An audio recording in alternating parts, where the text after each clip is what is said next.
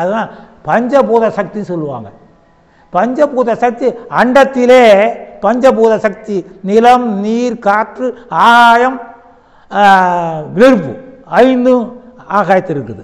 அதே ஐந்து நம்ம உடம்புல இருக்குது நம்ம உடம்புல நிலம்ங்கிறது எங்க? தசையும் எலும்பு தான் நிலம். நீர் என்பது என்ன? நம்ம உடம்புல ஓடுற ரத்தம் நீ நாளமில்லா சோலைகள் திறக்கிற சுரப்பி திரவங்கள். காற்றுங்கிறது என்ன? நாம் சுவாசிக்கிற காற்று மண்டலம். வெப்பம் என்பது உடம்பு உழைப்பினால் வந்த அண்டத்திலே வெப்பம் இருக்கிறது உடம்புல வெப்பம் வந்தோம்னா உழைக்கணும். வெப்ப சக்தி குறைவினால டிபிசிட் ஆஃப் ஹீட் நமக்கு நோய் காரணம். ஆக உண்ணுகிற அளவுக்கு உழைச்சா அங்கே நோயே கிடையாது. வெப்ப சக்தி வேண்டும். டிஃபிஷியன்ஸ் ஆஃப் நமக்கு வெப்ப சக்தி. அதே போல் ஆகாய சக்தி.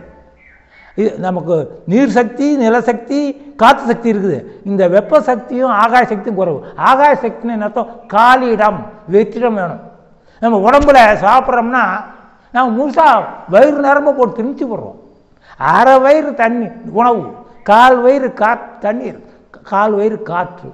எப்போதும் அரை வயிறு தான் உணவு சாப்பிடணும். முழுசாக சாப்பிட்டோம்னா ஃபுல்லாக போயிட்டா அங்கே ஆகாய சக்தி கிடைக்காது. பஞ்சபூத சக்தி இல்லாத காரணத்தால் ஜீரணம் ஆகாது பல நோயை உண்டாகும். ஆக ஆகாய சக்திங்கிறது உடம்புல உள்ள வெற்றிடம்.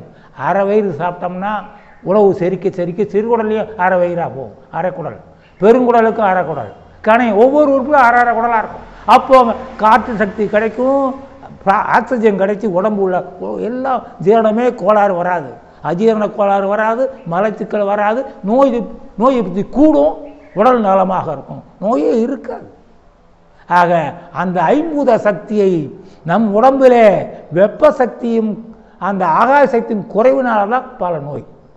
அதில் ஒரு பகுதியை இது தீர்த்து வைக்க எட்டு நட போட்டு எட்டு நடக்க நடக்க நடக்க நடக்க உடம்புல சூ இது சீரனாகுது வெற்றிடமும் உண்டாகுது உழைப்பும் கிடைக்குது நிர்பஸ்தியும் கிடைச்சி விடுது உடம்பு நலப்படுது. ஆக நடக்கிறது நடத்தலை போல உயர்ந்த மருந்து எதுவுமே இல்லை. மருந்தே உடம்புக்கு மருந்தே வேண்டில உடம்பில் நோய் தீர்க்கிறதுக்கு உழைச்சா போதும். அதான் சொன்னேன். உழைக்கிறவனுக்கு உடம்புல நோய் வர்றதில்லை. உழைக்காம உக்காந்துக்கிட்டு சாப்பிட்டு டிவி பார்த்துக்கிட்டு அப்படி பொழுதாக போயிருக்கிறவங்களுக்கு தான் நோய் வருது. ஆக நாம் நீ உழைக்க வேணாம். நடங்க. அது முடியாத காரியமா? கடத்தலுக்கு நடந்து போங்க.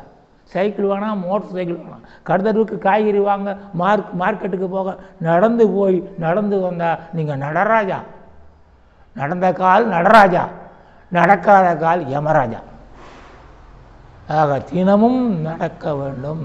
முடியாரோ வீட்டிலேயாவது எட்டு அடை போட்டு நடங்கள். ஆறு அடி அகலம் பன்னெண்டு அடி நீளம். இருந்தால் போதும். எட்டு நடை போட்டு வளைந்து வளைந்து நடந்து நடந்து நாம் ஆரோக்கியத்தை நோயில்லா நூறாண்டை நாம் உறுதி செய்து கொள்ள முடியும்.